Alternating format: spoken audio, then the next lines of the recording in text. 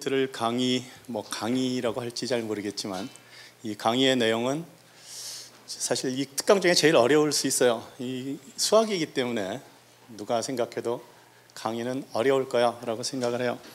이 강의를 하면서 여러분한테 전해드리고 싶은 이야기는 당연히 수학이지만 한 시간 동안에 무슨 수학에 깊이 있는 이야기를 할 수는 없고 여러분한테 약간 옆으로 빠져서 역사에 대한 이야기를 좀 보고 거기서 수학에 대해서 우리가 한두 가지 배워보려고 해요.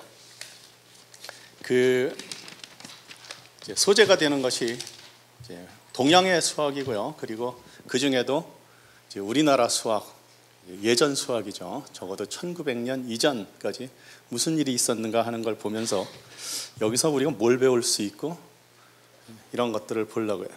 배우는 거는 진짜 목표는 수학이지만 진짜 많이는 안 할 거고 역사적인 그런 부분에서도 배울 게 있는가라고 보아요. 조금 아까 1교시 강의를 들은 분이 얼마나 있는지 모르겠지만 1교시 강의에서는 커그니션에 대한 이야기를 하셨어요. 사람의 브레인이 어떻게 이제 사물을 받아들이고 인식하고 그리고 그것을 분류하고 이런 이야기를 하는데 그거하고 수학하고 사실 멀지 않아요. 수학도 우리가 받아들인 데이터를 분석하고 그것을 인지하는 과정 을 가장 컴팩트하게 줄인 것이라고 보아요. 어떻게 하느냐 하는 것은 잘 모르겠지만 요 사이에 여러분이 뭐 사방에 뭐 뉴스를 들어도 그렇고 매일 듣는 것 중에 하나가 빅데이터죠. 빅데이터가 뭐 하는 거냐? 근데 데이터가 사실 너무 많아서 이런 거 사실 아니에요. 데이터가 그냥 굉장히 많으면 그건 그냥 컴퓨터한테 시키면 돼요. 컴퓨터는 그런 거 하는데 아주 천재고 그래서 아무리 많은 데이터를 줘도 잘 처리해요. 어떻게 처리하는 줄만 알면 잘 처리해요. 자, 빅데이터는 뭔가 하면 우리가 이렇게 데이터가 어디서 생겼는데 뭔가를 알게 됐는데 그 안에 뭐가 들어있는지 모를 때 뭐가 들어있는지 알면 아무리 커도 컴퓨터가 하는데 뭐가 들어있는지 모를 때 어떻게 여기서 인포메이션을 끄집어내지 하는 것이 요사이 빅데이터의 문제예요. 자, 그래서 그거 어떻게 우리가 이해를 해요? 어, 빅데이터에 뭐가 들어있는지 모르는데 우리가 볼 수 있는 게 뭐가 있는가 하면 방금 말한 그대로 우리 눈에 보이는 것밖에는 볼 수가 없어요. 즉, 볼 수 있게 이 데이터의 구조를 바꿔서 눈에 볼 수 있게 또는 눈으로 본다고 꼭 진짜 눈은 아니더라도 우리가 보는 것처럼 바꿀 수 있으면 그러면 우리가 거기서 인포메이션을 만들어냈다, 뽑아냈다라고 이야기를 하죠. 그런 종류의 일들을 하고 싶어 하는 것이 요사이 사람들이고 따라서 옛날에는 좋은 기계를 만들어서 아 우리 일상을 편하게 할래 이런 거에서부터 요사이에는 기계는 다 좋은데 그 기계를 똑똑하게 만들어서 우리 일상을 편하게 할래 하는 쪽으로 바뀌어가고 있죠. 그래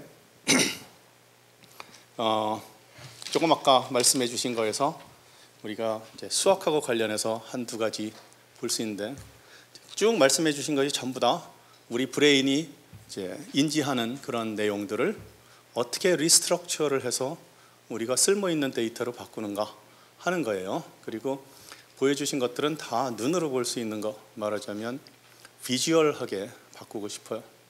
visual하게 바꾸는 것에 한계가 당연히 있는데 한계는 뭔가 하면 2차원이라는 거예요. 눈으로 보는 거는 아무리 잘 바꿔도 항상 2차원으로밖에 못 바꿔요. 여러분이 3차원을 본다고 생각할지 몰라도 3차원 안에서 돌아다닐 수 있어도 눈으로 볼 때는 항상 2차원으로 보아요.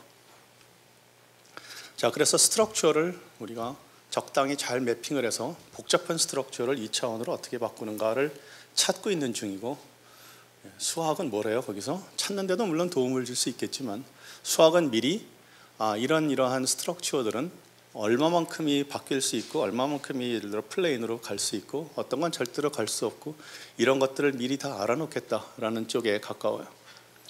자, 그것은 현재 있는 데이터를 understand 한다기보다 데이터란 것 자체가 도대체 어떤 성질을 갖는가 하는 것을 이해하는 거에 가깝고요. 그런 것을 우리는 어떤 종류의 structure를 이해한다, understand 한다 이렇게 말을 해요. 여러분이 고등학교 때까지 공부한 거는 다 어땠어요? 여러분이 문제를 풀어서 네, 답을 구하는 것을 공부를 했어요.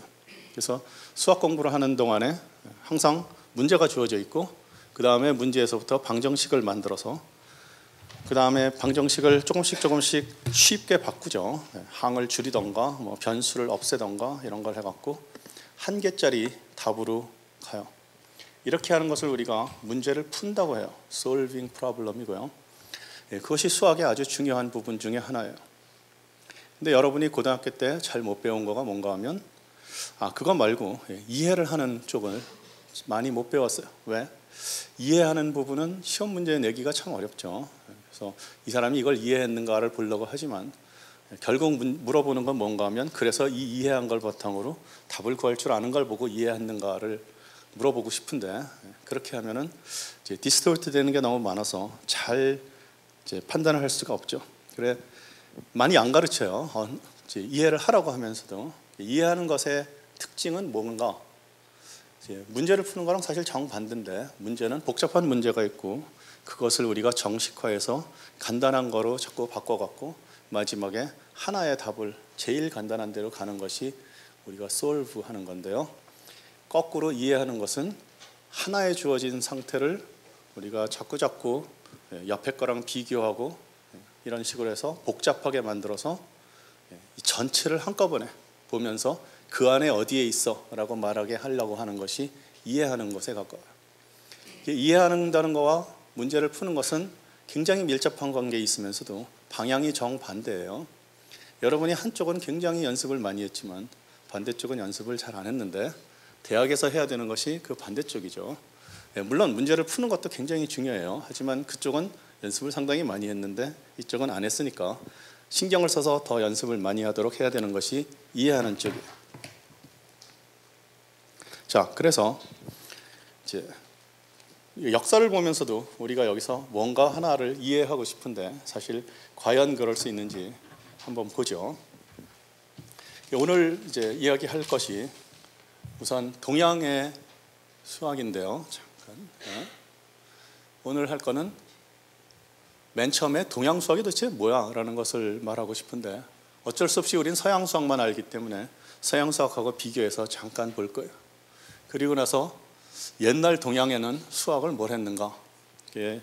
지금 역사들을 쭉 보면 알지만 동양의 중심은 당연히 중국에 있었어요. 그 중국이 무슨 의미인지 잘 모르지만 어쨌든 위치상으로 중국에 있었고 거기서 무슨 일이 벌어졌는가를 조금 알아야 돼요. 그것을 알게 되면 우리나라에서는 도대체 그러면 뭘 했는가 하는 것을 알 수 있고요. 그리고서 그 안에서 일어났던 일들 중에서 몇 가지를 보는데 특별히 오늘의 주제는 중인 수학자예요. 여러 가지를 볼 수 있지만 중인만 보지는 않겠어요. 왜냐하면 비교를 해봐야 되니까. 하지만 제 목표는 중인 수학자고 우리 그 수학의 역사에서 우리가 뭔가를 제대로 알 수 있는 부분은 역사적으로 언제부턴가 하면요. 1600년 이후부터예요. 왜냐하면 그 이전에는 자료가 남아 있는 게 없어요. 임진왜란 병자호란 거치면서 거의 완전히 다 없어졌고 예, 일제 시대 때 조금 남았던 것도 이제 거의 다 없어졌고 그래서 지금은 거의 아무것도 없어요. 그래 남아 있는 것은 17세기부터 그 사이에 있는 걸 보면서 이제 우리가 그 이전에 어떤 일이 있었는지 하는 것들을 조금 보죠. 자, 그래 구체적인 내용 들어가기 전에 참고 문헌이 있군요. 예, 지금 오늘 강의하는 내용에 대해서 여러분이 좀 더 잘 알고 싶으면 또는 내가 이야기하는 것들이 어디서 나왔는가라는 것 정도인데요. 역사에 대해서 우리가 갖고 있는 것은 예, 이첫 번째 있는 조선 왕조실록이 굉장히 중요해요. 그 역사서 중에 예, 다른 것들은 많이 없어졌어요. 집에 있고 뭐 불타고 여러 가지 식으로 없어졌지만 예, 실록은 우리가 다섯 개를 만들어 갖고 산 속에다 넣어뒀죠. 그래서 적어도 한 벌 이상이 완벽하게 남아 있어서 우리나라 어, 임금님들의 정치, 그다음에 그것 때문에 생긴 여러 가지 다른 일들을 볼 수 있어요.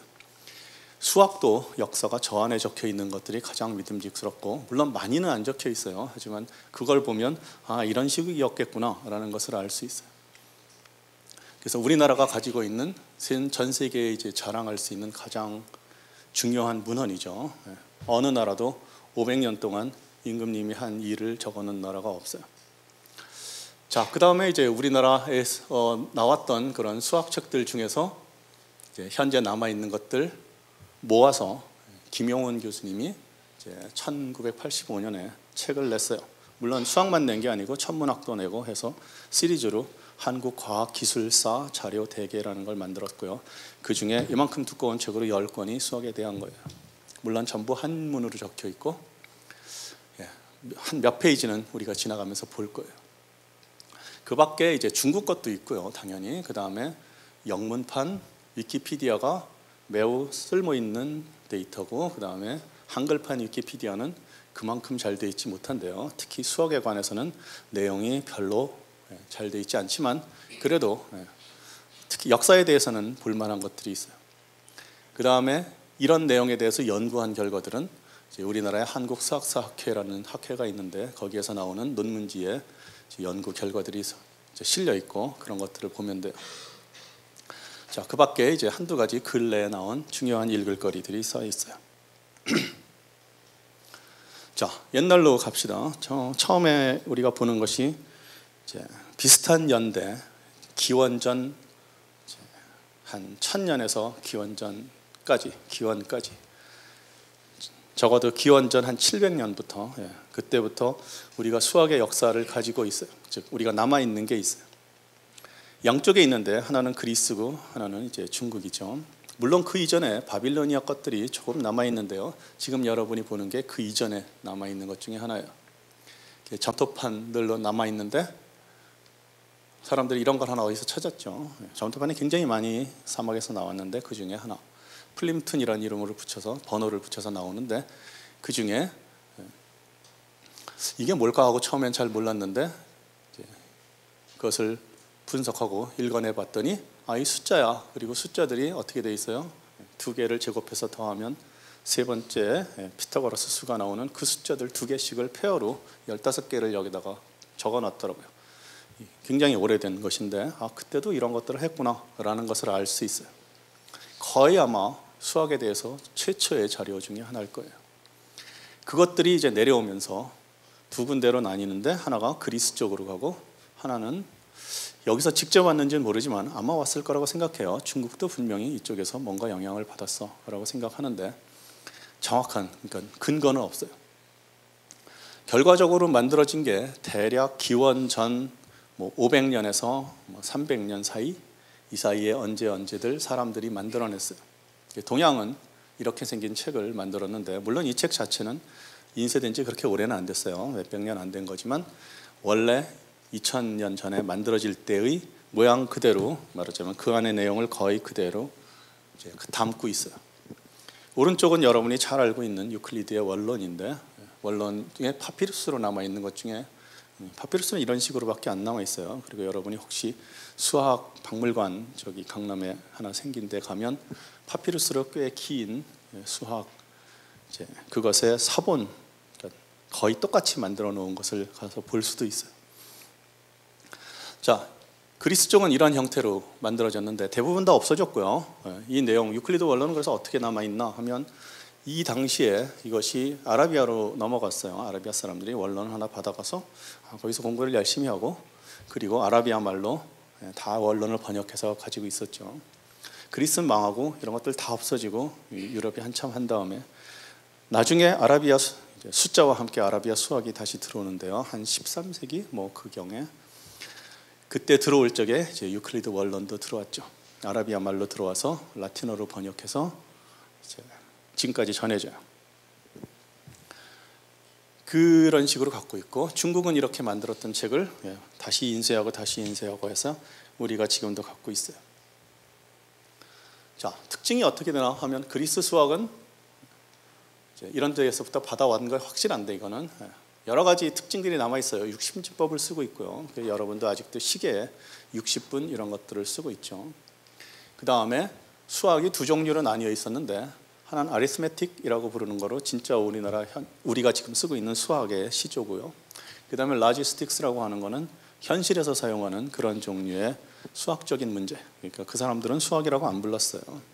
arithmetic은 수학이고 logistics는 학문이 별로 아니야. 아마 이렇게 생각을 했겠지만 어쨌든 양쪽 다 수와 관련되는 일들이 있었는데 arithmetic 안에를 들여다보면 여러분이 두 종류를 봐요. 하나는 수를 가지고 계산하는 것, 두 번째는 선분을 가지고 뭔가를 하는 것. 그것을 우리가 대수와 기하라고 지금 나눠서 불러요. 그 옛날 사람들은 뭘 했을까라는 것을 책을 들여다보면 대충 알긴 아는데 물론 무슨 문제를 풀었는지는 뻔하게 알고 답도 알고 하지만 왜 이런 걸 했지에 대해서 기하는 상당히 이상해요. 왜 2000년 전에 기하를 만들었을까? 물론 여러분이 수학책이나 뭐 이런 데 보면 맨 처음에 아 이집트에서 맨날 홍수가 나서 매년 땅이 없어져. 땅 근거 넣었던 게 다 없어져서 다시 찾으려 그러면은 이제 여러분이 측량을 해갖고 다시 땅을 자재로 만들어야 되니까 기아가 발전했어라고 해요.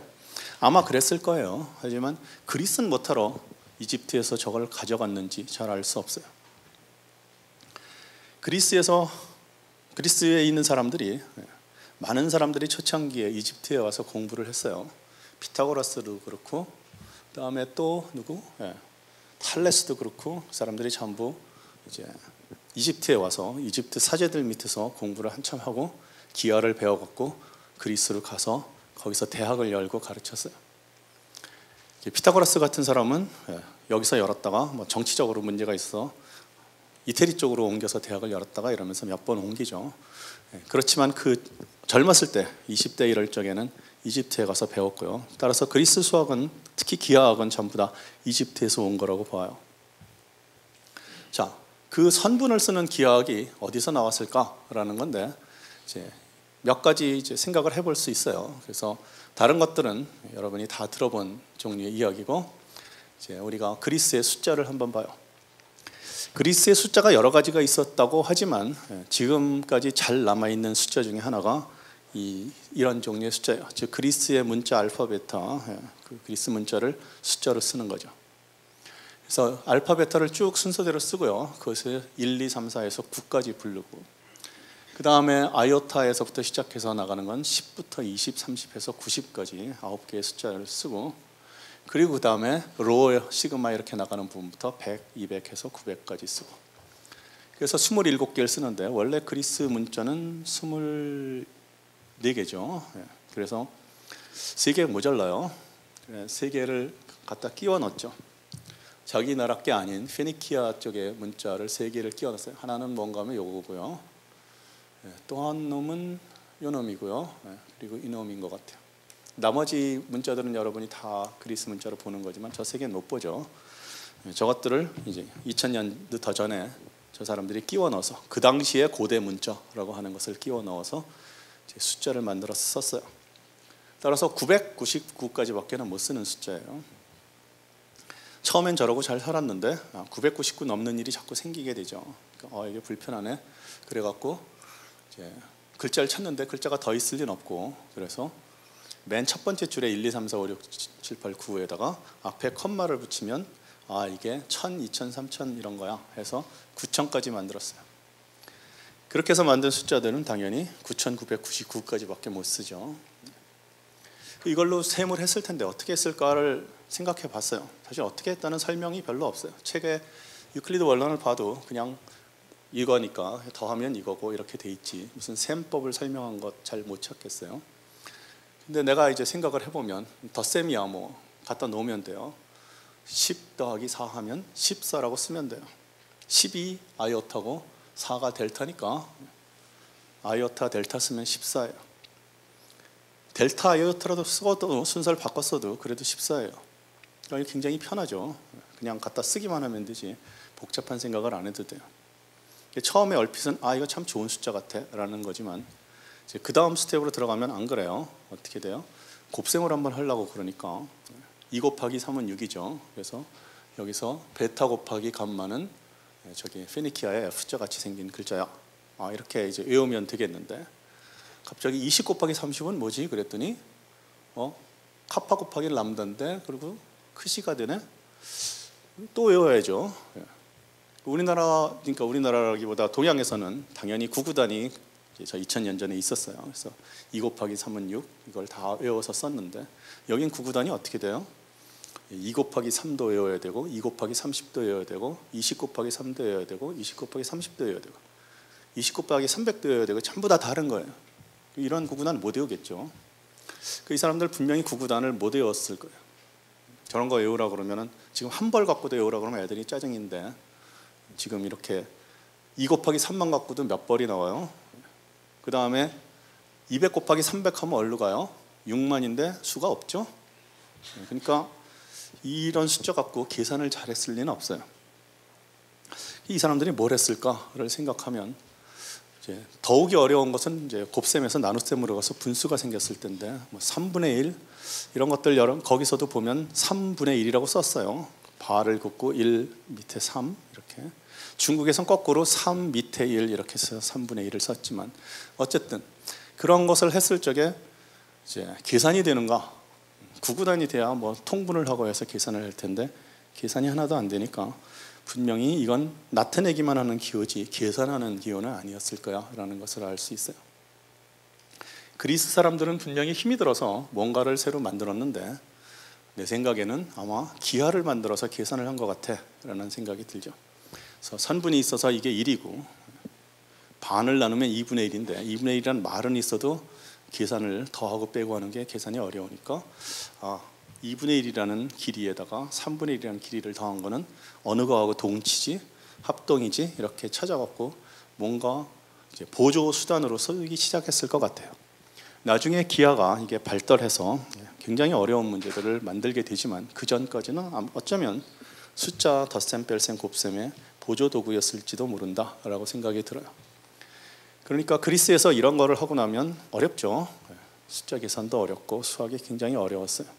뭐 한번 하려 그러면 도형을 그려서 움직여서 합동을 만들어야 되고 동양에서 하는 거랑은 비교가 안 되게 어려운 거였기 때문에 굉장히 고생을 하고 아마도 많은 쓸데없는 것을 만들었다고 보여요. 진짜 쓸데없는 건 아니죠. 지금 보면 매우 쓸모가 많은 건데 그 당시로서는 수가 수를 제대로 계산만 할 수 있었으면 절대 쓸데없는 거 안 했을 거를 했죠. 그게 이제 그리스예요. 동양은 동양은 어땠어요? 동양은 여러분이 좀 이따 보겠지만 계산하는 아주 좋은 tool이 있었어요. 산가지라고 하는 건데 산대라고도 하고 주라는 한자로 쓰는데 산이라는 한자도 산대에서 나왔어요. 산이라는 한자에 두 개가 있는데 여러분이 보통 요새 쓰는 산자는 계산한다는 산이고 예, 여기에 어딘가에 한 번쯤 나올 것 같은 산자는 예, 없네요. 예, 어딘가 나오면 가르쳐 줄게요. 그것은 계산하는 막대라는 뜻의 산자예요. 자, 그 산, 산까지를 가지고 덧셈 뺄셈을 하는데 매우 편해요. 덧셈 뺄셈도 쉽고 구구단만 외우면 곱셈 나눗셈도 쉽고 자연수, 분수, 소수를 마구 썼는데요. 우린 지금처럼 뭐 실수가 뭐 어때 이런 개념은 당연히 없죠. 서양에서도 실수가 생긴 건 100년밖에 안 되니까 그 이전에는 수란 건 그냥 나타내지는 기호뿐이었어요. 현실적인 문제를 많이 풀었어요. 그리스는 이상적인 문제들 말하자면 도형에 관한 문제들은 굉장히 앱스트랙트하죠. 그런 문제들을 많이 풀었어요. 그 여러분이 풀리지 않는 세계의 3대 수학 문제, 예를 들어 각을 임의의 각을 3등분해라 이런 종류의 문제들은 굉장히 앱스트랙트한데 그런 것들이 이제 그 신탁에서 받아낸 문제였죠. 이번에 싸우러 나가는데 이기겠습니까? 뭐 이랬더니 아니면 그때 뭐 병이 돌았던가 예, 병을 병이 물러가겠습니까? 했더니 이 문제를 풀면 물러갈 거야. 이렇게 해서 이제 풀기 시작했는데 2000년 걸린 문제죠. 예, 그런 종류의 문제들을 풀고 있었는데 중국엔 그런 문제는 전혀 없었어요. 그래서 현실적인 문제만 풀고 예, 그 다음에 계산을 해서 답은 줬지만 논리를 펴지 않았어요. 왜? 기하 같은 게 있으면 논리를 펴지 않으면 아무 얘기도 되지 않는데 계산은 계산만 보면 되지 논리를 펼 필요가 없어요. 그래서 실제로 논리를 별로 적어 놓지 않았고 기호도 별로 만들지 않았어요. 계산이 예, 산까지란 걸 갖고 하면 이렇게 움직이면서 하기 때문에 계산 과정이 안 남아요. 그래서 별로 예, 어떻게 한 거야 라는 것을 설명이 없어요. 하지만 굉장히 좋은 걸 갖고 있었던 게 기수법이 데시멀 포지션 시스템이었어요. 십진법인데 위치가 어디냐에 따라서 10이냐 100이냐가 결정돼요.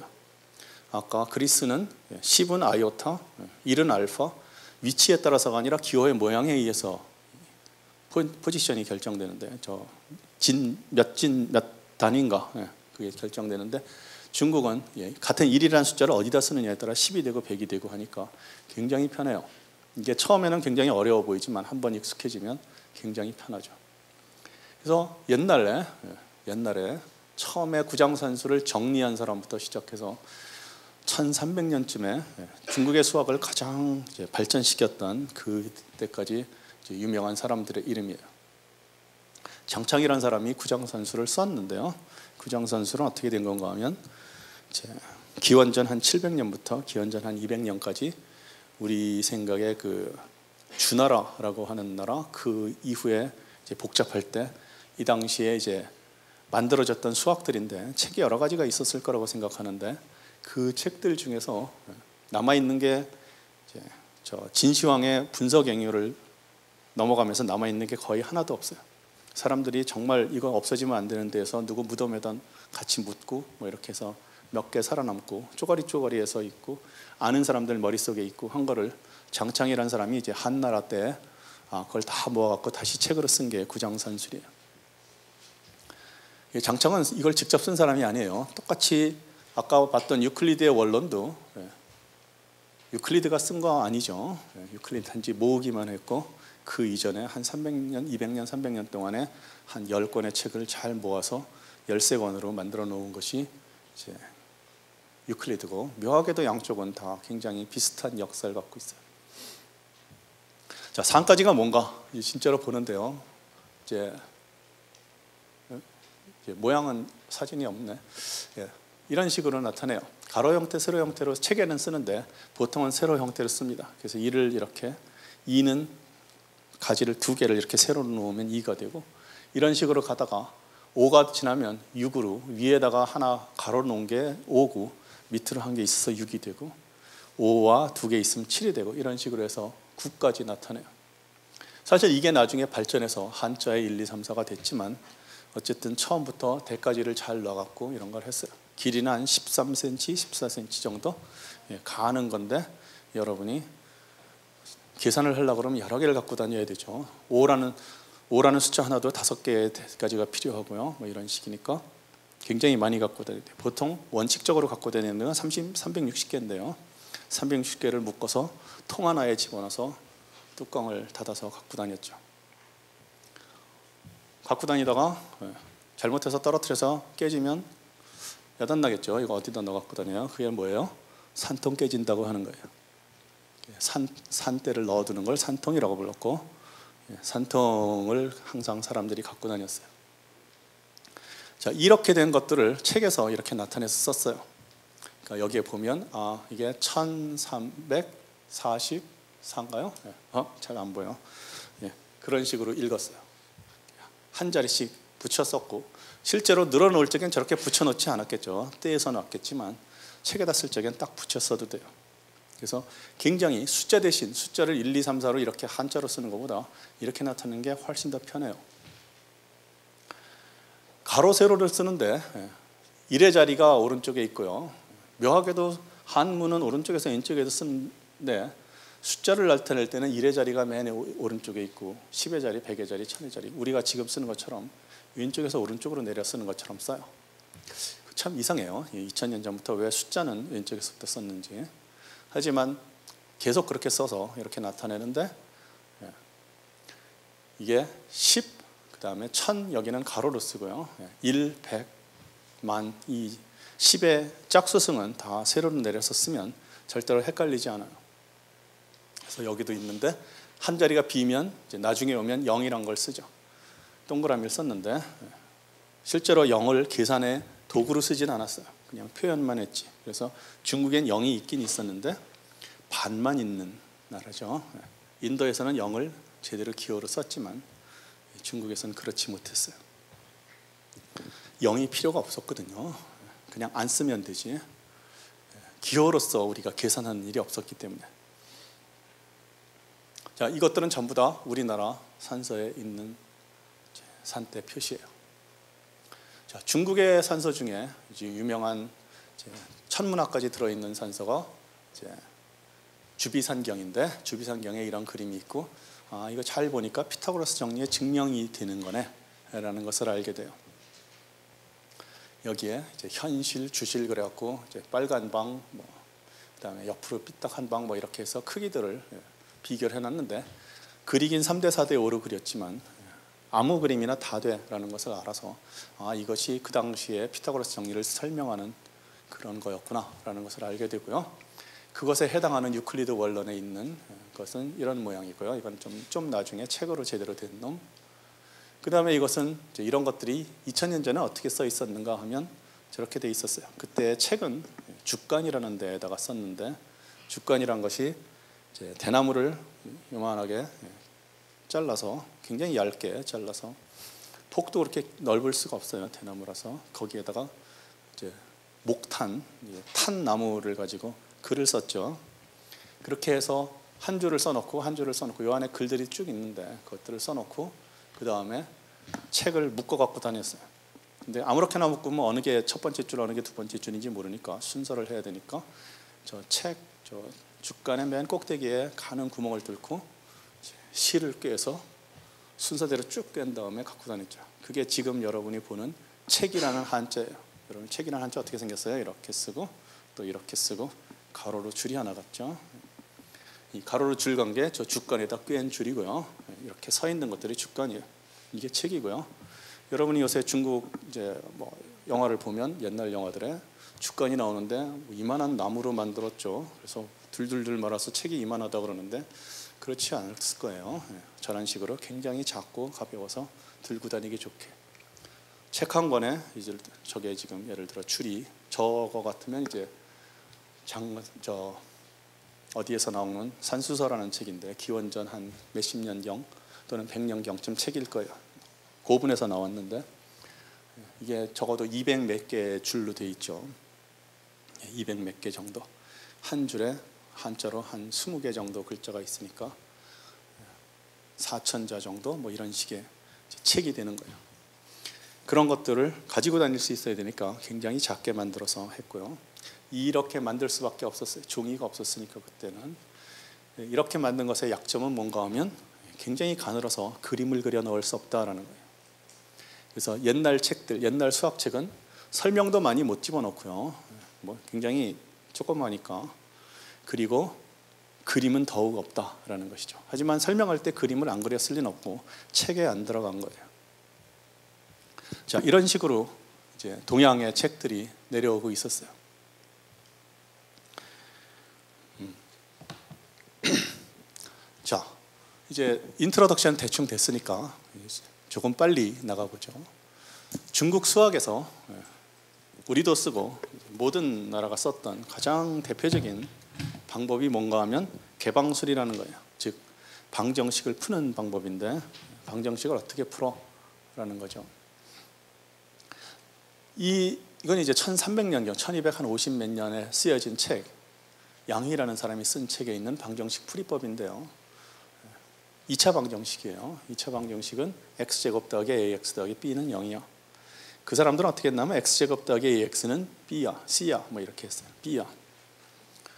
왜 그런가 하면 x제곱 더하기 ax는 x를 한 변이라고 하면 사각형의 넓이고 ax는 x에다가 a를 곱한 것의 넓이고 그래서 이렇게 붙여놓으면 그 넓이 전체가 b야. 이렇게 해서 사각형으로 그림을 하나 그려놓고 이 그림 전체의 넓이가 얼마야? 이렇게 하면 방정식이 하나 생겼어요. 이거는 중국만 이런 게 아니고 그리스도 당연히 예전에 그랬어요. 그래서 헤로니니 뭐 이런 사람들이 있던 시절에는 그리스도 방정식을 2차 방정식을 이렇게 풀었어요. 사각형을 그려놓고 옆에 AX를 더 붙이고 X는 있고 A는 옆에 더 붙이고 그리고서 X가 얼마지 이렇게 찾아내기 시작했죠. 이 방법이 이제 적어도 2,500년 전쯤의 방법인데요. 이것들이 이제 발전을 해요. 여러 단계를 거쳐서 발전을 하는데 중간 단계들은 다 모르겠고 또는 알긴 알지만 그렇게 큰 스텝은 아니다가 아주 아주 큰 스텝이 언제 생기나 하면 이 가헌에서 주체걸까지의 1050년부터 1300년 정도 사이에 발전을 하죠. 그래서 개방술이라고 하던 구장산술의 2000년 전 방법이 이때 오면서 특별한 개방술이 하나 생기는데 개방술 중에 이 사람들이 만든 증승 개방술이라는 것이 아주 쓸모가 많아졌어요. 예, 실제로 생긴 것은 어, 실제로 생긴 것은 이제 1050년경에 가헌이라는 사람이 처음 만들었어 그러는데 그 그것이 처음엔 조금 잘 애매했을 거예요. 남아 있는 게 없어서 잘은 모르지만 그것이 완벽해지는데 한 200년 걸렸고요. 그래서 1250년쯤에는 사람들이 방정식을 푸는데 2차 방정식, 3차 방정식뿐이 아니라 모든 방정식을 다 예, 거의 마음대로 풀었다라고 봐도 돼요. 자, 어떻게 하는 건가 하면요. 예, 어, 예를 들어서 이런 쉬운 방정식을 하나 봅시다. 구하고 싶은 거는 예, 답이 루트 625라는 게 아니고요. 25라는 또는 뭐 저게 x제곱이 624면 25보다 조금 작겠죠. 그 숫자를 찾고 싶어요. 근데 진짜로 찾을 방법은 없다는 걸 여러분이 이미 알아요. x제곱이 3이야 그러면 x는 뭐예요? 뭐 1.7 뭐 어떻게 되겠지만 우리는 보통 루트 3이라고 쓰죠. 하지만 루트 3이라고 쓰는 게 실제로 저 방정식을 푸는 거랑은 별 상관이 없어요. 루트 3이라고 썼다고 해서 방정식이 풀렸나요? 말하자면 내가 방정식의 근에 대해서 뭐 좀 아는 게 생겼나요? 네, 별로 안 생겼어요.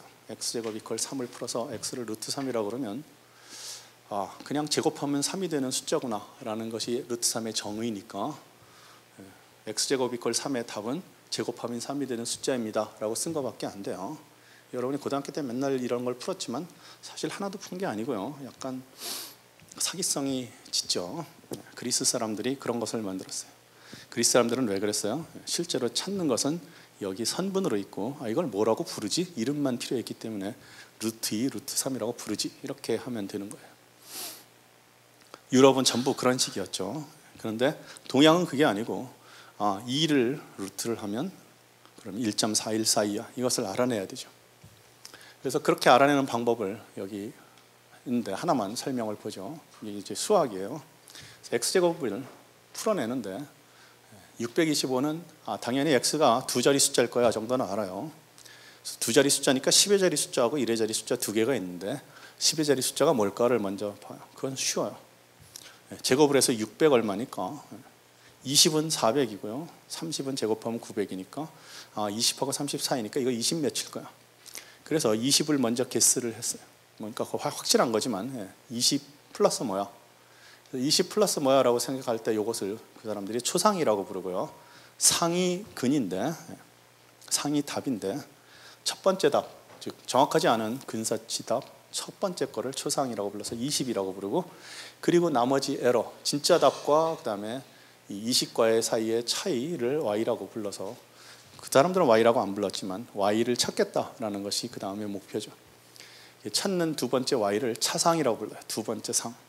초상과 차상을 더하면 그러면 진짜 답이 되는 것처럼 생각하는 거죠. 물론 어떤 때는 y를 구해도 제대로 구할 수 없으면 또 그 다음 번을 구해야 되고 이렇게 한 자리씩 구해 내려가요. 이 경우에는 두 자리 숫자니까 두 번 구하면 되고 그 다음에 소수점 밑으로 내려가겠죠. 소수점 밑으로 내려가서 또 필요하면 세 번째 자리를 구하고 네 번째 자리를 구하면 되고요. 계속해서 이런 계산을 해 나가면 돼요. 그래서 아무리 정확한 답도 사실 소수적 소수로 써나갈 수가 있어요. 자 여기서 구하는 방법은 y 플러스 20의 제곱이 625니까 y 플러스 20의 제곱을 내가 전개만 할 수 있으면 y에 대한 방정식을 다시 만들 수 있고 다시 이제 y가 대충 얼마야? 라는 것을 개수를 할 수가 있죠. 이렇게 해 나가겠다는 거죠.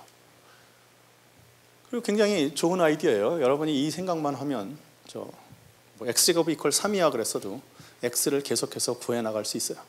3은 1의 제곱과 10의 제곱 사이에서 1의 제곱보다 크니까 따라서 1.5일 거야. 1. 얼마라고 하고 그 얼마에 대한 방정식을 만든 다음에 또다시 얼마쯤이야 라는 것을 찾고 해서 계속 나가면 답을 구할 수 있어요. 특별한 방법이 필요하지 않아요. 자, 그래서 아, 두 번째 방정식이 이렇게 되는 걸 알고 y가 대충 5 정도면 돼. 그래서 5를 집어넣고 봤더니 아, 이 경우엔 딱 맞아서 맞아 떨어졌네. 그렇지 않으면은 아, 그 다음 소수점 이하의 첫 번째 자릿수를 찾자 이런 식으로 나가는 것인데 포인트는 어디에 있어요? y 플러스 20의 제곱을 전개할 수 있는가가 포인트예요. 그래서 2000년 전에 구장산술에서도 이 계산을 했지만 뭐가 필요해요? 뭐 더하기 뭐의 제곱이란 것을 어떻게 쓰지? 또 내가 3차 방정식을 쓰면 뭐 더하기 뭐의 3승이란 것은 어떻게 되는지 어떻게 알지? 여러분은 지금 답이 뭔지 알죠? 이건 전부 다 파스칼 삼각형을 가지고 하면 돼요. 이항 전개니까. 이 사람들도 그걸 알았었고요. 예전에는 2차 방정식이나 3차 방정식밖에 안 푸니까 어, 뭐 특별히 삼각형을 만들 필요가 없었지만 천년쯤 되고 나면 차수가 높은 방정식도 풀어야 돼서 이 사람들이 아, 파스칼 삼각형을 만들어 쓰기 시작했어요. 물론 파스칼보다 몇백 년 먼저. 그래서 맨 처음 만들었던 것들이 어디에 있는지 잘 모르지만 사람들은 아까 말했던 가헌이라는 사람의 책에 처음 있어라고 얘기를 했고 그냥 써 있는 말이죠. 그래서 가헌의 삼각형이야. 중국말로 쥐샤의 삼각형이야 이렇게 얘기를 해요. 자, 중국 역사를 보면 예, 이 방정식에 대해서 알 수 있는 것들이 있는데요. 즉 책을 읽어보면 아 이거 그냥 알고리즘으로 바꿔서 그냥 계산만 하면 되게 잘 만들었어 라는 것을 알아요. 즉 2차 방정식 푸는데 방정식의 의미라든가 뭐 이런 것을 따로 생각할 필요도 없고 저것이 뭐 사각형의 넓이라고 하기는 하지만 그 사각형의 기하학적인 성질을 쓰는 것도 없어요. 단지 방정식을 만들어 놓고 나면 형식적으로 몇 자리 숫자야? 그 다음에 첫 번째 자리 수는 뭐야? 이렇게 우리가 지금 생각을 거의 안 해도 계산할 수 있게 바꾼 거를 알고리즘이라고 부르죠. 그런 형태로 만들었어요.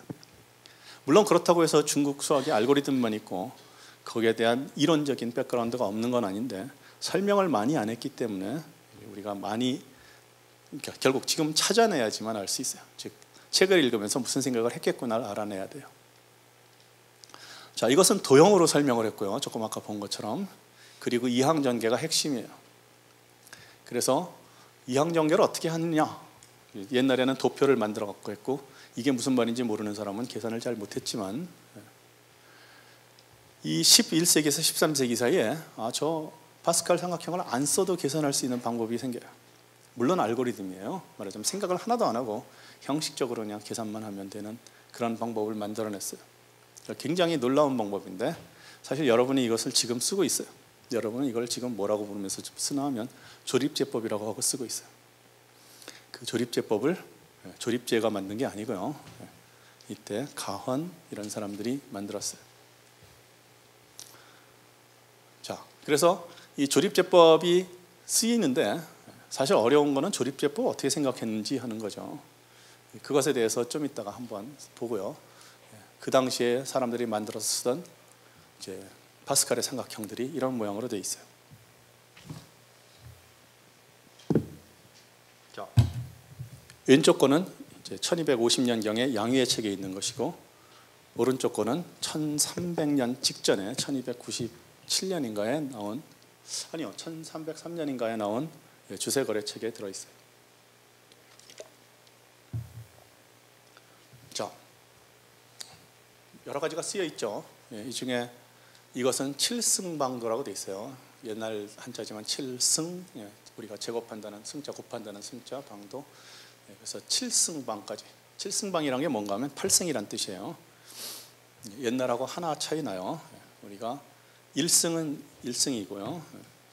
우리는 일승이란 말을 지금 쓰지만 일제곱이란 말을 쓰지만 옛날 사람은 그냥 쓰면 됐지 곱할 게 없었죠 일제곱은.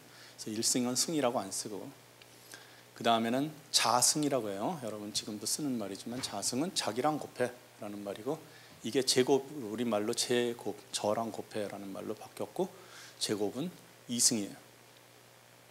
근데 이 사람은 그 다음 곱하는 건 뭐야? 삼승은 뭐야? 하면 이 사람들은 자승을 두 번 했어. 이렇게 얘기했어요. 재자승이라고 그랬어요.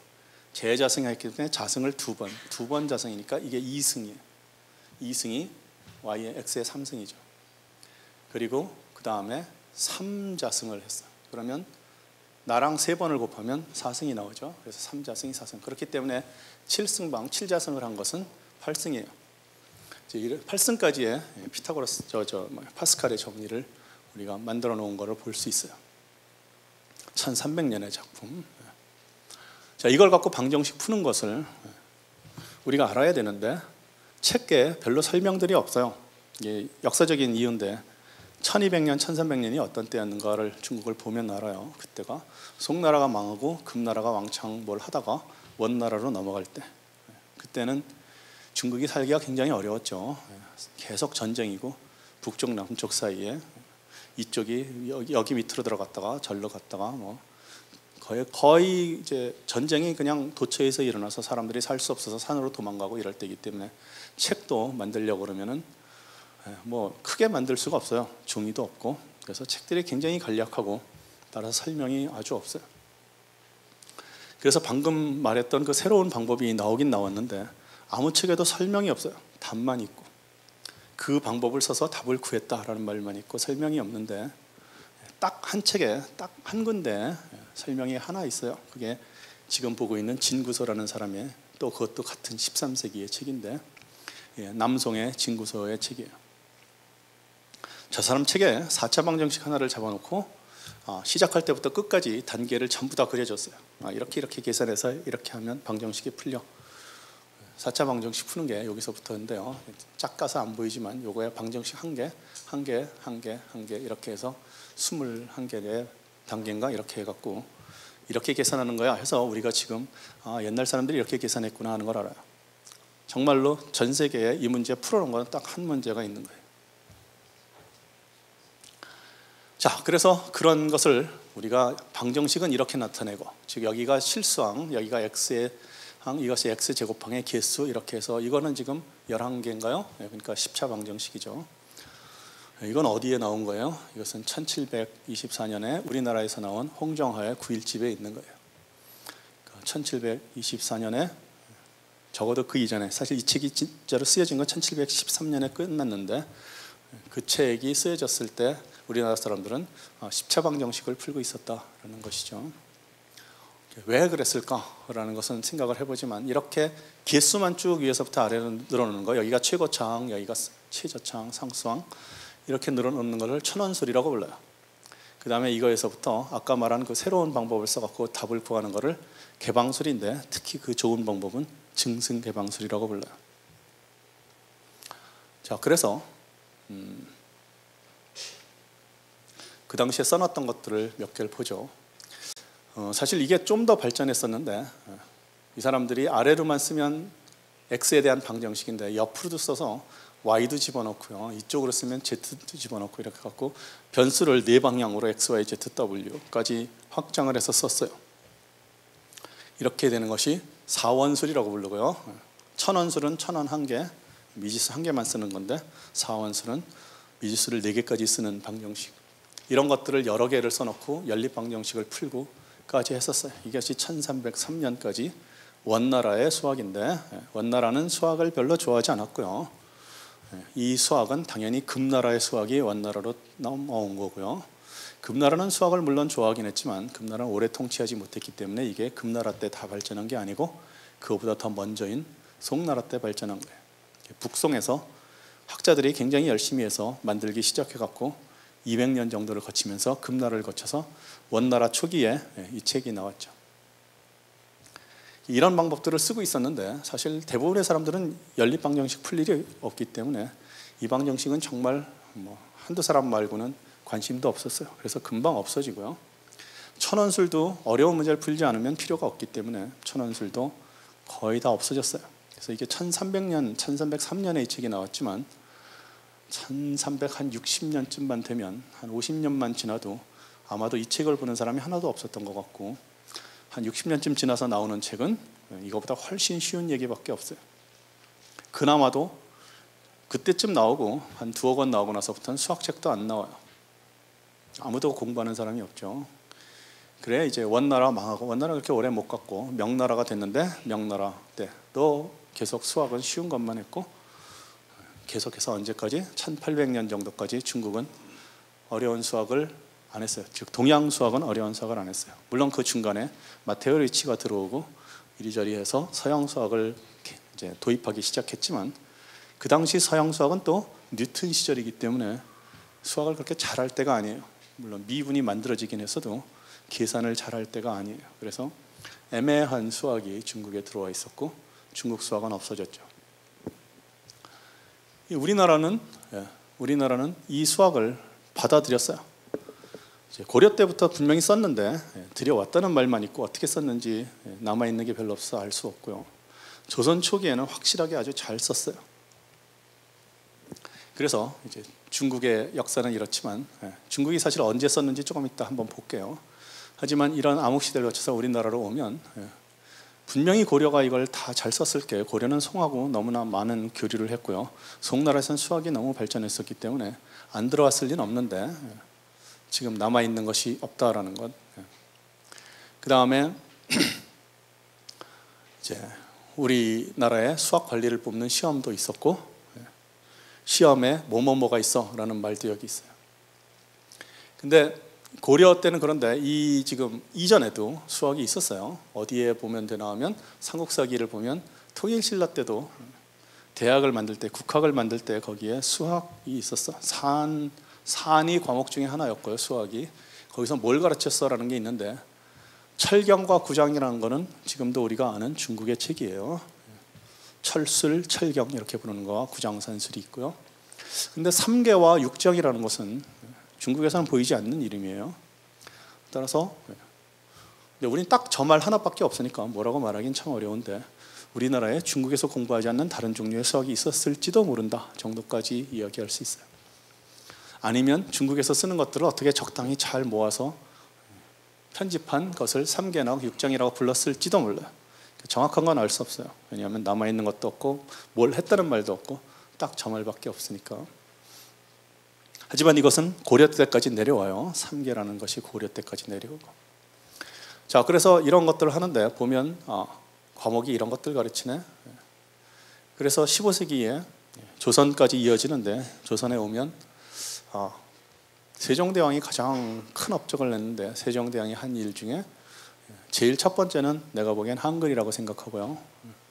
그 다음으로 가장 큰 업적은 칠정산 내편을 만든 거예요. 칠정산 내편이라는 이름을 들어봤는지 모르겠는데 이것은 역법서죠. 캘렌더를 계산하는 거예요. 계산하는 방법을 다 설명한 거죠. 어, 조금 앞으로 돌아가야 되는데 이제 중국에서 13세기에 수학이 이렇게 발전했는데 그 발전한 덕에 중국이 잘한 게 하나 있어요.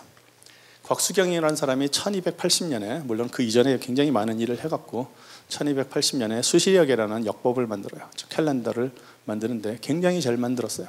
전 세계적으로 아, 이렇게 잘 만든 캘린더가 없어라고 할 정도로 몇십 년 동안은 매일매일 뭐 태양이랑 별을 다 측정하고 그 데이터를 가지고 굉장히 정확하게 그 이후를 예측할 수 있는 그런 시스템을 만들었어요. 이름이 수시력인데 굉장히 좋아서 예. 이 사실 이것이 맨 처음에 만들어진 것이 이제 원 초기예요. 처음에는 이게 금나라 때 계속 이 일을 했지만 예, 원 나라가 들어오면서 원 나라가 이 일을 예, 계속해서 시켜서 수시력을 만들죠. 중국에서 역법을 만들면 아, 인근에 있는 나라한테 전부 역법을 배포하는데 우리나라에도 당연히 왔어요. 그래서 고려 때부터 수시력을 쓰는데 예, 우리나라에서는 어, 세종대왕이 아니야 그냥 갖다 쓰니까 되게 잘 안 맞아.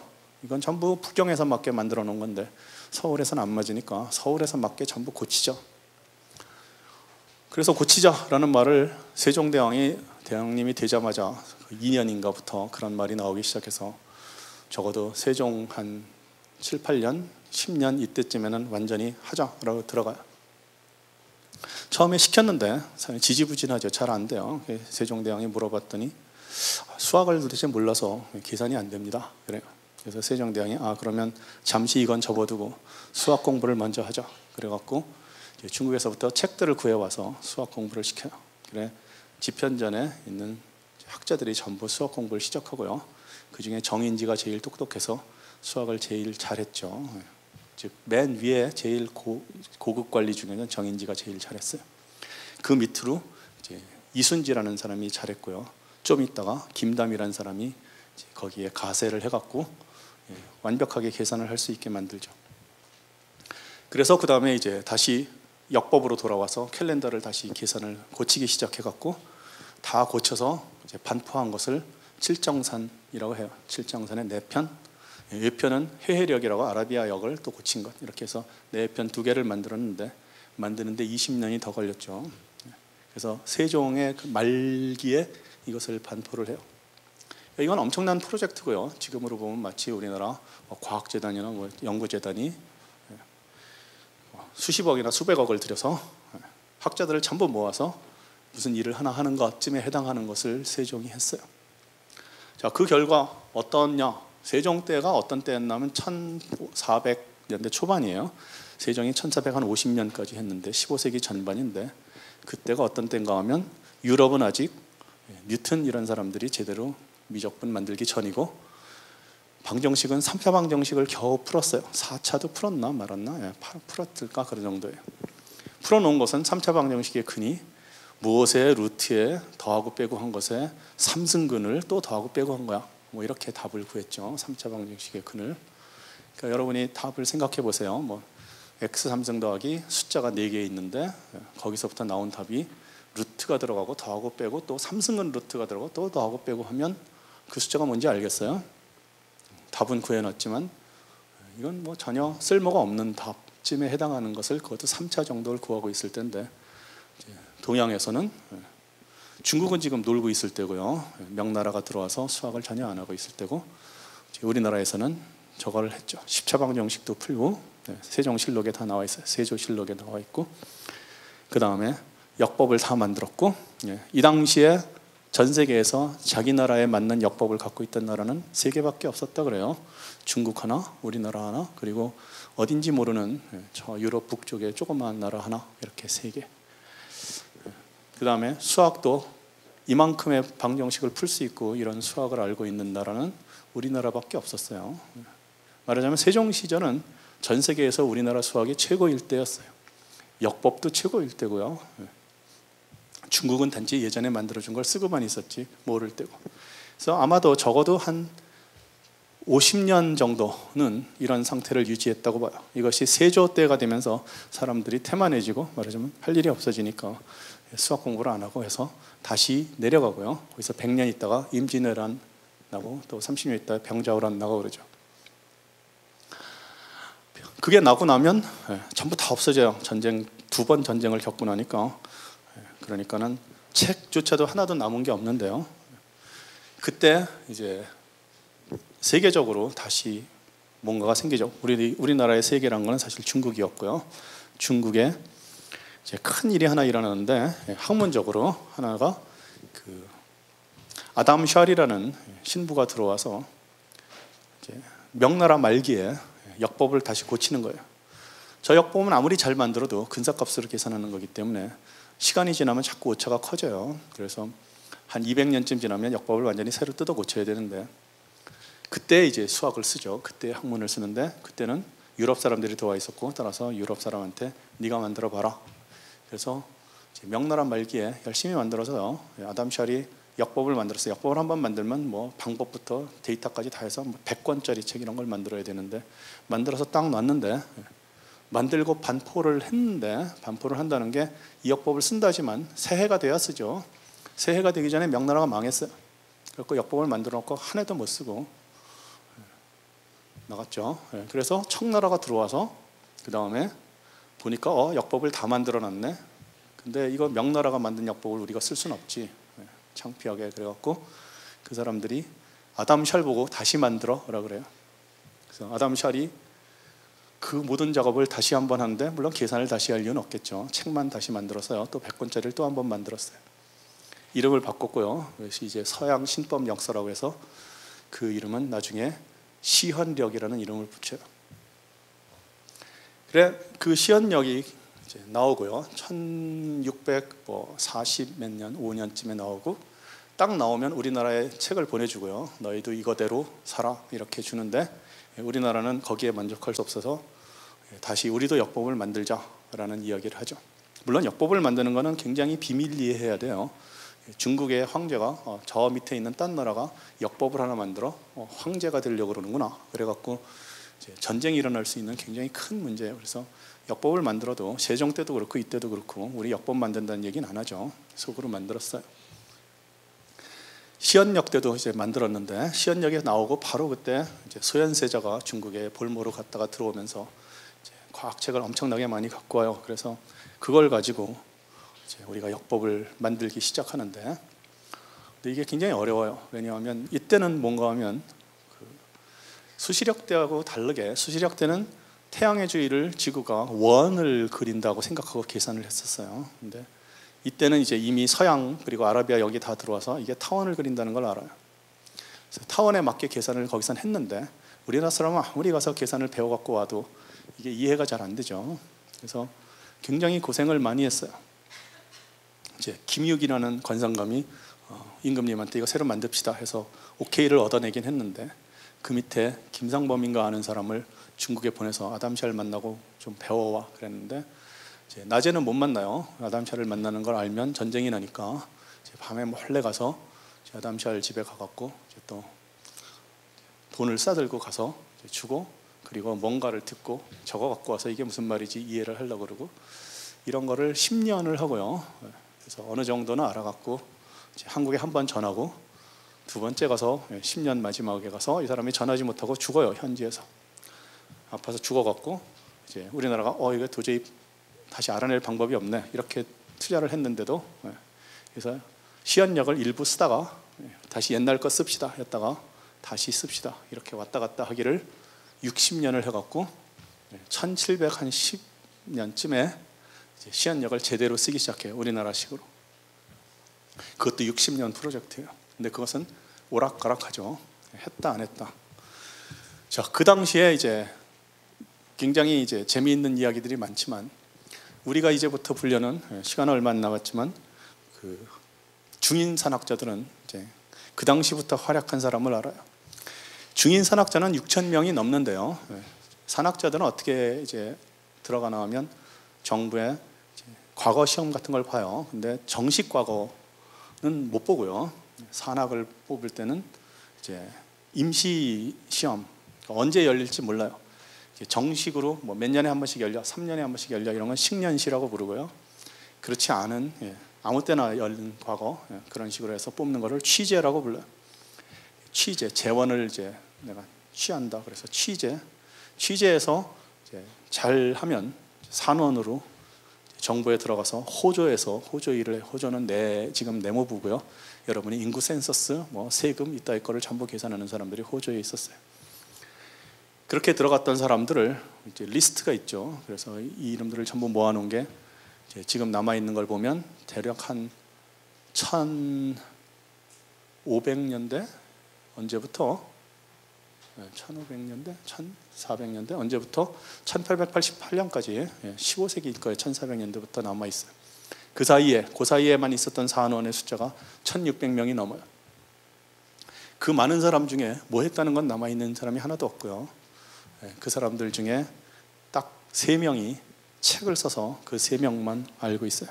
나머지 사람도 이름은 알지만 그 사람들이 뭐 했는지라는 건 하나도 남아 있는 게 없어요. 이 사람들이 전부 중인인데요. 호조에 들어간 사람들은 중인인데 중인에 대해서 지금 설명할 어, 틈이 별로 없지만 예, 아, 여긴 중인에 대해서 내가 안 써줬군요. 어, 살짝 바꾼 것도 있는데 예, 어쨌든 괜찮아요. 중인이란 게 뭔가 하면 어, 원래 고려 시대에 그 이제 그 관리들이 여러 종류가 있었어요.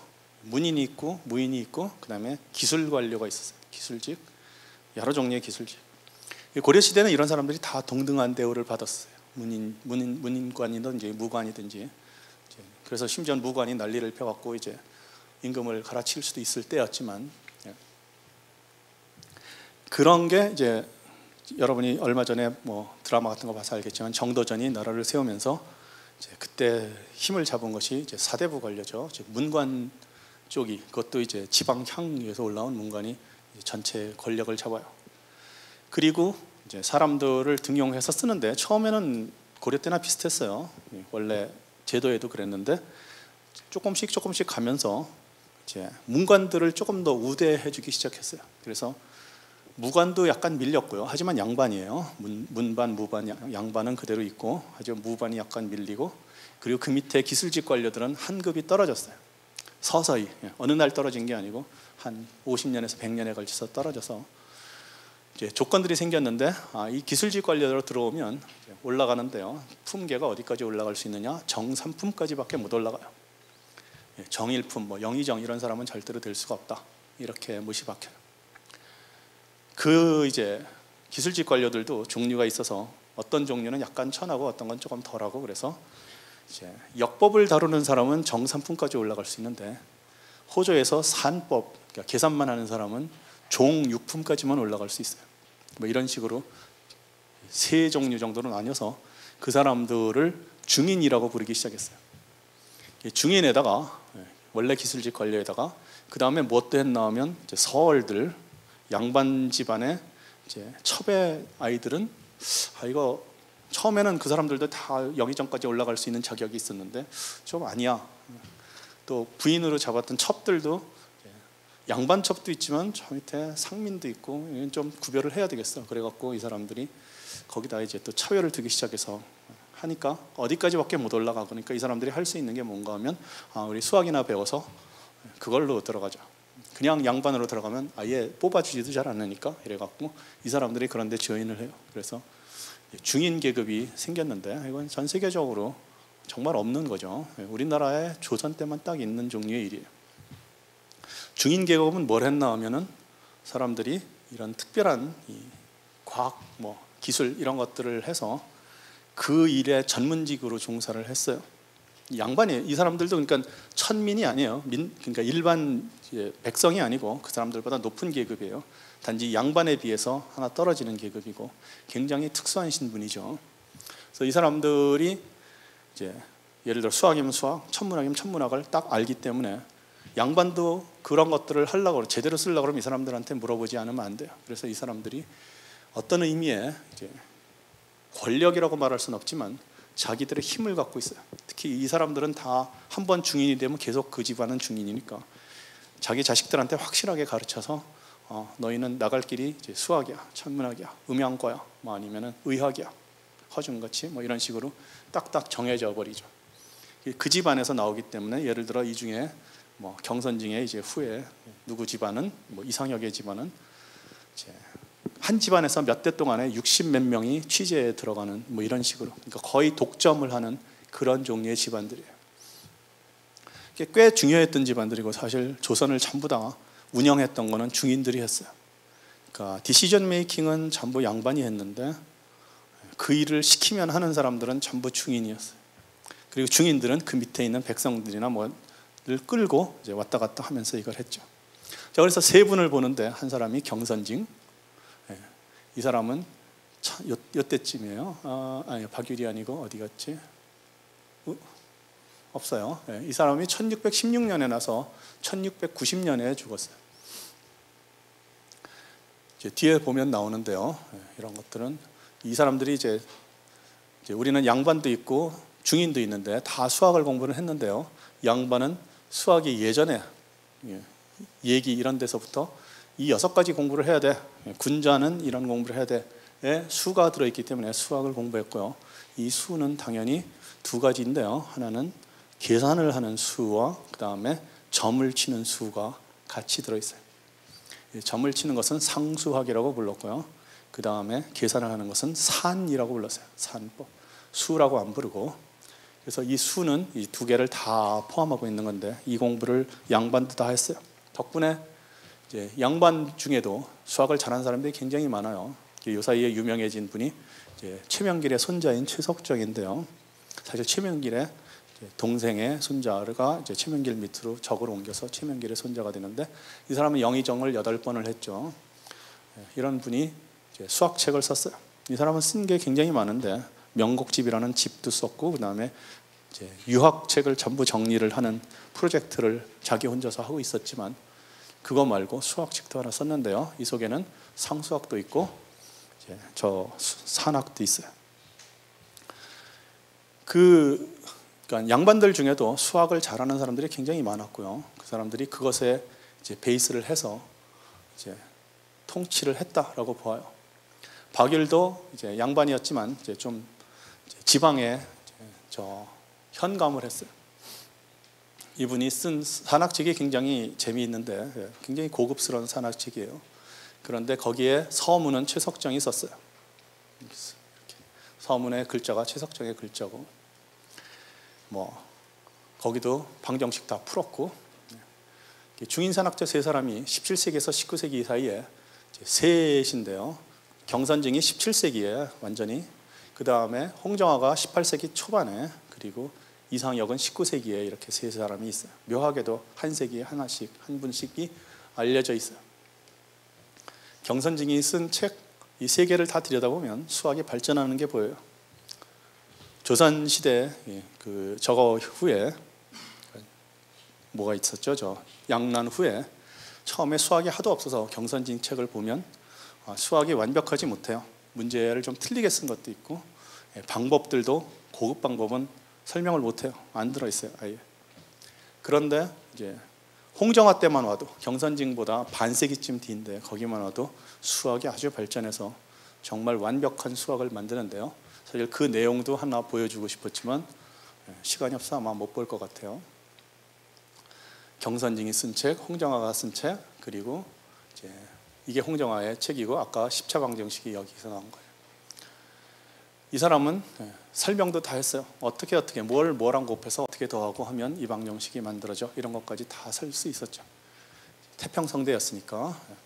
계산도 이렇게 했다는 걸 알고요. 예. 몇 가지 계산법들을 이제 보여주고 있어요. 근데 홍정화에 대해서 이제 이상혁이 이제 1800년대에 아주 유명한 산학자가 돼요. 이상혁 자신은 중인이니까 우리나라에서는 유명하지 않았지만 이 사람하고 같이 일했던 남병길이라는 이제 좌의정까지 갔나요? 예, 그분이 이제 관상감의 제조 즉 주인이었는데 그 사람이 천문학에 대한 책을 여러 개 쓰고 전 세계적으로 조선의 천문학자로 알려져 있어요. 이 홍, 홍정화는 예, 이상혁은 그런데 홍정화는 그거보다 100년쯤 전에 이 책을 썼는데 거기 보면 계산법이 설명이 다 되어 있는데 중국에서 그 13세기에 했던 계산법들을 설명을 하고 있어요. 13세기 중국 책에는 설명이 없어요. 예, 왜냐하면 책을 굉장히 얇게 쓰고 설명 거의 안 쓸 텐데 이 책에 설명이 있는데 여기 있는 설명이 그 중국에서 어떻게 했을지 하는 것을 설명을 해줘요.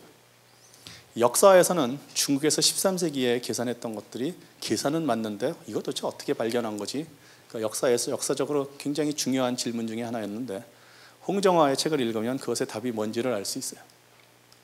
답은 뭐 그렇다라고 하고 여기서 홍정화는 무슨 계산을 하냐면 이런 거 전개를 해요. 저것이 네 개가 다 같으면 알파, 베타, 감마, 델타가 같으면 이항 전개인데 저게 다 네 개가 다르면 어떻게 전개하지? 우리는 물론 지금 X 이런 것들을 갖고 있으니까 전개법을 써서 하면 되지만 옛날 사람은 아니죠. 개수만 가지고 하는 방법이에요. 조립제법 같은 걸 하는데 내가 1에다 알파 곱해서 더하고 알파에다가 다시 알파 곱해서 또 더하고 이렇게 하는 게 이제 이항 전개인데 아, 이 사람은 어떻게 해요? 알파를 곱해서 더하고 그 다음엔 베타를 곱해서 더하고 그 다음엔 감마를 곱해서 더하고 그 다음엔 델타를 곱해서 더하고 그 다음엔 다시 이번엔 알파는 빼고 베타를 곱해서 더하고 감마를 곱해서 더하고 이렇게 해서 내려가면 맨 나중에 나오는 요 개수들 요렇게 대각선으로 밑에 빠진 것이 이항전개의 개수가 딱 되죠. 서로 다른 것들의 이항전개예요. 자, 이 방법 예, 굉장히 좋은데 여기서 처음 봤어요. 이런 방법이 있다는 걸 상상도 못했고요. 전 세계적으로 이 방법 쓰는 사람들 없어요. 근데 정말 쉬워요. 정말 계산만 한다 그러면 하면 돼요. 특히 여러분이 이렇게 보면 어 이게 뭐 꽤 복잡해 하겠지만 옛날 사람들은 뭘 갖고 했냐면 산대를 갖고 했어요. 그러니까 여기다 1을 곱해서 1에다 알파를 곱해서 더할 적에 0 더하기 알파 이렇게 쓰는 게 아니고 0은 아무것도 없고요. 거기 알파를 갖다 놓으면 돼요.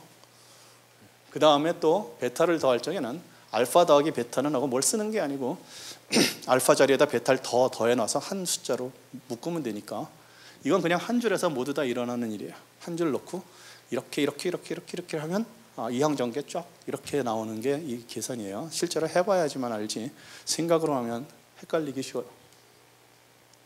자, 그래서 그것에 대한 예, 여러 가지들을 했고요. 이상역도 했고 이상역은 이제 방정식도 잘 풀었지만 이 급수 예, 수의 합을 구하는 것도 잘했는데 이상역이 새롭게 발견한 것은 아, 이런 식의 합을 구할 적에 이렇게 나눠서 두 개의 합으로 나눠서 구하면 편해라는 것을 처음으로 고안했죠. 하지만 이상혁이 할 때쯤에는 중국에도 이살란이라는 유명한 수학자가 있어서 비슷한 걸 했어요.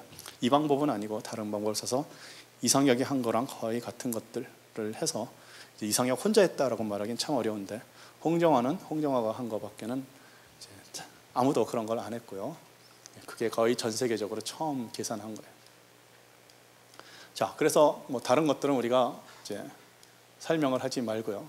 하나만 보죠. 그래서 이제 역사를 다 공부를 하고 그리고서 이제 중국 수학사도 공부를 하느라고 책을 좀 찾아보다 보니까 중국 수학사를 제일 많이 공부한 사람이 이분이에요. 네, 조셉 리담이라는 분인데 이분은 중국 여자하고 결혼을 한 것 같고 중국에서 정말 중국에서는 아니지만 영국에서 중국 자료들을 가지고 정말 많은 과학에 대한 것들을 분석을 했어요. 혼자 할 수 없고요. 예, 팀을 데리고 있어요. 아마 수십 명 있었다고 보이는데 그 팀이 중국의 수학책, 뭐 과학책을 전부 다 읽고 전부 분석해서 책을 썼죠. 1권이 총론이고 2권이 뭐고 3권이 수학과 천문학이고 이런데 책 한 권이 이렇게 두꺼워요. 크기도 이만큼 큰 책이 이만큼 두꺼운. 예, 까뜩 수학과 천문학에 대한 것을 썼는데요. 4권, 5권에서 지금 20몇 권쯤 나오고 있어요. 물론 이분은 돌아가셨고 그 다음 팀이 계속해서 이어갔고 중국에 예, 그 책이 지금 여기 있는 오른쪽 거예요. Science and Civilization in China 이렇게 돼 있죠. 중국의 과학과 문명. 번역되어 있는 게 우리나라는 정말 초해서 아주 일부분만 번역되어 있는 게 세 권짜리로 나와 있어요. 일본은 적어도 10권짜리까지는 전부 다 번역돼 있죠. 자, 이분이 이걸 공부를 하다가 중국 거를 자꾸 보다가 어, 이상한 걸 발견했어요. 그래서 이분이 쓴 게 있는데 이분이 나중에 한국에 있는 분하고 같이 자료를 조사를 해갖고 한국의 서운관이라는 책을 썼어요. 영어로 이렇게 썼지만 서운관이 뭔가 하면 관상감이고요. 말하자면 역법과 천문학을 하는 공부하는 데가 서운관이에요. 한국의 서운관에 이렇게 생긴 기계들이 많은데 어, 이 기계 참 잘 만들었네라는 게 이 니담의 생각이에요. 니담이 그 기계들 어디 있는 거지? 중국 거 그대로 분땄을 거야 라고 처음에 생각해서 찾아봤는데 아, 중국엔 이런 게 없고 중국의 이것의 원형은 이거보다 좀 못하고 예, 한국 것들은 뭔가가 좀 더 들어갔는데 참 잘 만들었어. 그래서 그것만 따로 모아서 책을 한 권을 냈어요. 중국 거 공부하다가. 그리고 이 사람이 조금 아까 그 책 안에 이렇게 썼어요. 이건 그냥 스캔한 거고요. 예, 실제로 써 있는 게 이래요. 자기가 이 책을 쓰면서 예, 두 번이나 그 책 안에다가 이 멘션을 했는데 멘션할 적에도 The writers were moved예요. 감동을 해서 이, 이 글을 안 쓸 수가 없는데 이 중국 이제 문명권의 Chinese culture area의 모든 민족들 중에서 한국 사람들만이 과학과 그다음에 미케니컬 테크놀로지 우리 기계 기술이죠. 그리고 의학에 관심이 있더라. 중국 사람 말고 중국 문명권의 다른 데서는 한국 사람들만 그렇더라라는 거예요. 그래서 밑에 설명을 달았는데 코리안 엠버시라는 건 이제 지금은 뭐 저거겠지만 예전에는 이제 사절단이에요. 1년에 한 번씩이나 두 번씩 이제 황제한테 가야 돼요. 연 연경에 가는 이제 그런 사절단이 가는데 갈 때는 몇백 명이 가죠. 굉장히 여러 가지 일을 하러 가요. 가는데 예, 북경에 갔는데 예, 이동안에 this centuries가 어딘지 모르겠지만 적어도 조선 때쯤에는 예, 갔을 때 가면 뭘 하나 하면 우리는 조공이란 걸 바치러 간다고 알고 있죠. 조공을 물론 바쳐요. 물건을 가지고 와서 일종의 임금과 임금 사이에 무역을 하는 건데 무엇을 주고 그러면 황제는 꼭 그것에 대한 답례를 줘야 돼요. 받고 안 주면은 황제가 아니에요. 그래서 이것은 그냥 황제가 아, 내 마음대로 하는 게 아니고 꼭 줘야 되는 건데 뭘 줄까를 물어봐야 돼요. 그냥 아무거나 주고 가져가가 아니고요. 너희는 무엇을 가져가고 싶으냐라고 물어보는데 한국 사람들은 꼭 가면 책을 받아오더라라는 거예요. 그리고 한국만 그렇고 여기 조공하는 나라가 17개인가 있는데 딱 한국만 책을 받아가더라. 책과 그 다음에 지도와 그 다음에 약 또는 약방문 이런 것들을 받아가더라. 그래서 이 사람이 두 군데다가 이 말을 썼다라는 거예요. 내가 중국을 공부해 보니까 중국 민족 말고 자기 생각에 예, 관심이 가는 민족이 하나 있는데 코리안이더라. 그래서 이제 이런 걸 쓴 것을 보면 예, 처음에는 이걸 보고 아, 이 사람이 과장했어라고 생각을 했어요. 나도 그렇고 다른 학자들도. 예. 그런데 조금 아까 그 공부들을 해보면서 어, 세종 때 아, 이게 전 세계적으로 가장 잘하고 있었네라는 것도 알고 있고요. 이런 것들을 알아. 그래서 수학을 어떻게 했는가? 역사를 보면서 우리가 얘기할 수 있는 것은 아, 수학이 그냥 재미없는 것이긴 한데 예. 이 사람들이 굉장히 열심히 알고 싶어했고 양반들도 알고 싶어했고 중인들은 자기 삶이니까 당연히 잘했고요. 예, 그 사람들이 하면서 그냥 일만 하고 쓸데없이 뭐 아, 관심 없으니까 최소한으로 할래 이게 아니라 그것을 개발하느라고 부단한 노력을 했다는 거죠. 조선 시대에 그랬어요. 그 이전에도 그랬겠지만 남아 있는 것은 없고 적어도 조선만 봐도 이 사람들이 그렇게 살았다는 거죠. 여러분들이 이제 그 조선에 대해서 우리가 이야기를 들을 적에 아, 당파 싸움이 많고 맨날 싸움만 하고 조선은 그래서 망했어 라고 하지만 굉장히 다른 부분이 있어요. 이런 것들을 보면 아, 조선이 왜 600년 동안을 버텼는지 당파 싸움을 하면서도 버텼는지를 알 수 있어요. 그냥 당파 싸움만 했다면 내 생각에 100년이나 200년을 못 버텼겠지만 예, 이런 사람들이 쭉 앉아서 나라를 유지하고 있었으니까 버텼다고 봐요. 사실 한 마디만 더 하면 시간이 되는지 모르겠지만 한 마디만 더 하면 아까 시한력이 들어올 적에 사람들이 나뉘어서 쓰자 말자 하고 싸워요. 그때도 일종의 당파 싸움 비슷한 게 있어요. 그때 노론소론이 서인으로 바뀌고 뭐 이렇게 되면서 아, 서인이 노론소론으로 바뀌면서 싸움이 있을 텐데 한쪽은 쓰자 그러고 한쪽은 쓰지 말자 그럽니다. 예, 최석정은 쓰자는 쪽에 들어 있고요. 예, 쓰지 말자는 쪽에 이제 김시진이라는 사람이 있어요. 김시진이라는 사람이 왜 우리한테 유명한가 하면 이 사람이 산악계몽이라는 책을 인쇄를 해냈어요. 산악계몽이라는 책은 저 세종 때부터 쓰던 책인데 그때 이미 책이 없어갖고 그 사람이 그것을 다시 한번 프린팅을 해요. 내가 처음에 읽을 적에는 김시진이 이걸 프린팅하니까 이걸 공부해갖고 예, 이 시한역을 쓰자라는 말 하려고 하는 줄 알았어요. 근데 역사를 읽어보니까 이 사람은 시한역을 쓰지 말자 하는 파에 들어있어요. 반대하는데 이 사람은 반대하는데 뭘 하나 하면 수학 공부를 해갖고 예, 천문학 공부를 한 다음에 네 논리는 뭐가 틀렸어라는 말을 찾아서야 반대를 하는 거죠. 당파 싸움 와중에. 예. 그러니까 그 당시에 당파 싸움은 결코 그냥 앉아서 싸움하는 게 아니고요. 학문 싸움이에요. 그게 단지 그 무슨 이제 논어 맹자 이런 것의 학문 싸움이 아니고요. 과학도 같이 학문 싸움인 거죠. 그러니까 이런 걸 하고 있었기 때문에 이제 그 당시에 조선의 학문이 계속 발달하고 나라가 유지될 수 있었다라고 보여요. 즉 영희 정도 수학 공부하고 모두 다. 지금도 우리가 본받아야 될 것 중에 하나라고 생각합니다. 시간이 조금 넘었죠. 네, 그럼 이것으로 마치도록 하고요. 교수님께 예, 감사의 박수 부탁드리겠습니다. 네.